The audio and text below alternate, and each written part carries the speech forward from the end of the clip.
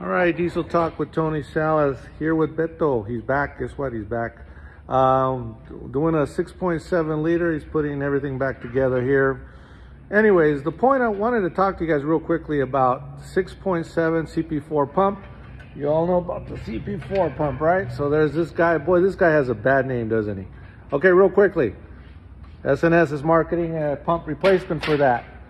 Well, let's get one thing clear. That's a standardized pump used mostly in the Asian market, as far as I know, and is not used on V8 applications. So if it is, hasn't been proven or shown.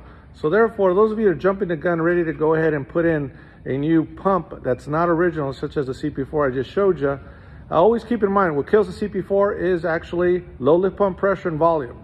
So therefore, when you change those fuel filters, you want to make sure you go ahead and run the truck at least 15 minutes after you replace the fuel filters to make sure all air is worked out. So that'll again lengthen the life of that CP4 pump. So be aware of being jumping the gun and, and burning money on an unproven pump.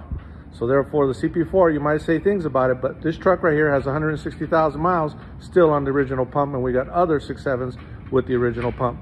Something to keep in mind.